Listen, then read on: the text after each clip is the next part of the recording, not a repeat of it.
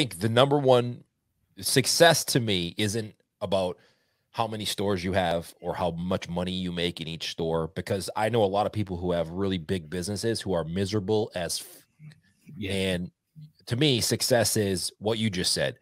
Know what you want to do and then execute on that. And like you said, if you want to make 100 pizzas a day and that's what makes you happy and you're done, do that. Like who is who is anybody else to tell you that you should no, you have to make 200 pizzas because people around you want them. Why? Right. I mean, my biggest point that I've been talking with my circle and you know what's the difference between me 3 years ago and me now is you know 3 years ago I'm chasing creating the perfect pizza, right? Yep. I mean everybody's trying to create the perfect pizza. And what do you think the perfect pizza is, Bruce? I, I, I don't know if there is a perfect pizza. I think that there's pizza I don't think there is a perfect pizza. I think you can always improve, no matter who I talk to about anybody who makes pizza and you know the best of the best. When you think of who who you think of as the right. best pizza maker, they always say that there's never they're never really satisfied with. You can always improve on it. So I don't think there is a perfect pizza. Well, there's just so many factors, right? I mean, the dough has to be right, the oven temperature has to be right, right. Uh, you know, you have to have balance on that pie. You know, sometimes you're not putting the same amount of cheese or the same amount of sauce on every pie when you got 40 tickets up. Right. And that's just the the pizza aspect. What about the mood I'm in? The mood right. my, the mood the mood my staff is in. The mood that the customer is in. What kind of music is playing?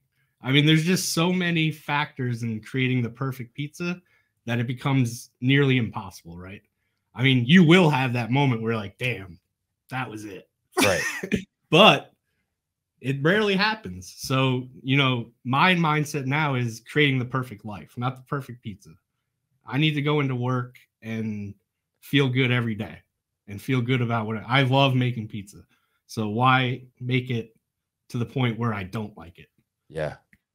I agree. I, have been trying to advocate that a lot more on the podcast about being happy and doing what you actually like to do because I was that guy who, when I first started my pizza journey uh, as an operator, it was trying to build a system so we could have multiple places. And I realized that it was like no, it was never a point where I was satisfied or happy. Right? We got one store really, really busy. We had sales goals. We hit them. I thought that would make me happy. It didn't. We opened another store. It was successful. It was pretty busy. I thought that would make me happy. It didn't. And I realized that what I was chasing wasn't that making me happy. And I realized that doing this podcast that it's all relative. Happiness to everybody is different, and you have to do what's what you want to do and what makes you happy every day going to work because we're on this planet for such a short period of time. You don't want to be miserable the whole time you are waking up going to work because you spend a ton of a ton of time there. Right. I mean, uh, an example of that is like this past Saturday was my nephew's birthday. And, you know, I'm grateful that they had the party at my pizza place in the but I'm still on the other side of the counter. Right. There. So, yeah, I mean, that becomes kind of you know that puts you in a bummer mood you're like i wish i was over there yeah so but you know we did talk he said hey can you have the birthday party at the pizzeria? Because i'd love to see you guys and you know be somewhat part of it. Where in the past i might have missed that. Right. So i mean it's about finding that balance for sure. And yeah. you know that that that's been a big thing you know ever since after covid is kind of readjusting and making sure that you take care of yourself first and then you know everything else will fall in line if you're doing the right thing. Yeah,